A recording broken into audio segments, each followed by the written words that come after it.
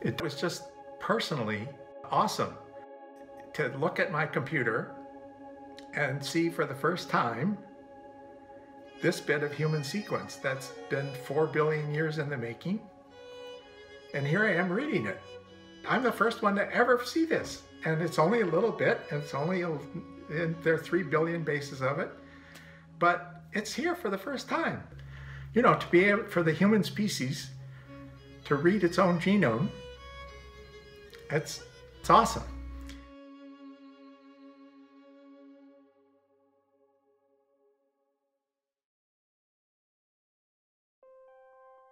In the late 1970s, Bob Waterston was studying the molecular biology of the nematode worm in Washington University when a conversation with fellow biologist Maynard Olson introduced him to the concept of mapping a genome.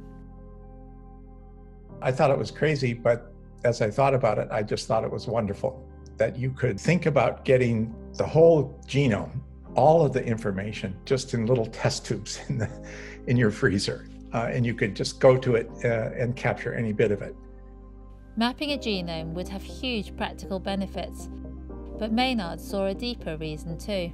He comes from a chemistry background, and I think he was frustrated with the lack of definitive answers. The metaphor that he used was that biology was like quicksand, and you just sunk deeper and deeper into the complexity. But the genome was like bedrock. The genome is all the information that's passed on from one generation to the next. And that's it.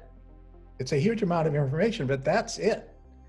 And if we understood that, we'd be in a very strong position. Bob worked closely with John Sulston mapping the worm, which was to become one of the model organisms that would be used to test sequencing methods for the Human Genome Project. By the time they were sequencing, they had separate labs, but the friendship and collaboration continued. The worm community was is very different from the human community. We had something called the Worm Breeders Gazette, which came out, yeah, the Worm Breeders Gazette. My kids always make fun of it. You submitted your little one-page abstract of whatever it was you were doing, and, and they got stapled together and sent around to everybody in the community. And the idea was that you told people what you were working on, what your great ideas were, and there was a community spirit that kept you from taking advantage of somebody else's ideas. When John Sulston started mapping the worm, he immediately wanted to involve the wider community. The community's job was to take those pieces and associate them with the genetic map. And they would do that by cloning their favorite gene. So then you end up with a piece, lots of DNA, which is integrated with the genetic map, and then you have a real genome. In the early stages of the project, computers were just about getting to the point that this was possible, and by the time they started sequencing, there was the internet. The National Institute of Health, or NIH, were fairly light touch with the worm scientists. Fortunately for us, the NIH didn't care about the worm.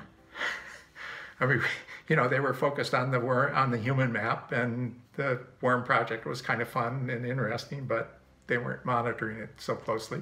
So we did whatever we wanted, and we put it all out on the web.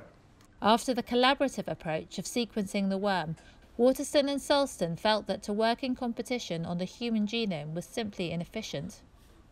We already had the experience that we were working on a gene that had to do with some human disease trait, and another lab they sequenced the exact same gene. So at a time when sequence was very precious, one of us wasted our time for sure. we had the whole human genome. We had this whole vast expanse. In the high stakes world of human genetic research, they wanted labs not only to work together, but radically to share their findings with the whole world. It was not an easy sell, but eventually we got people on board. And I think it really was because we had this very strong history of doing this with the worm. The benefits of this approach soon became obvious. You didn't have to wait for a publication. You didn't have to even wait for the thing to be finished. You could get the sequence as it was being generated and figure out what was going on yourself. You had to figure it out. You had to do more work because it wasn't a finished product. But if you did that, you could have it right away. Science is a community effort, and we have to get this data out to the community. The public sequence became the reference sequence because it was high quality. It didn't have all the gaps that had that both groups had when the draft came out, and it was available. Waterston and Sulston's commitment to the free publication of the human genome paid off. And looking back, Bob is both amazed at what the project achieved and frustrated by its shortcomings. In many ways, it's more than fulfilled its potential. I mean, the first thing people will do if they're going to study a new organism is get genome sequenced. The potential to influence medicine, it's not been as fast as I would have hoped. You know, I took care of sick kids, and it's devastating to not be able to help them. And genomics could help I think the possibilities for uh, real impact are increasing.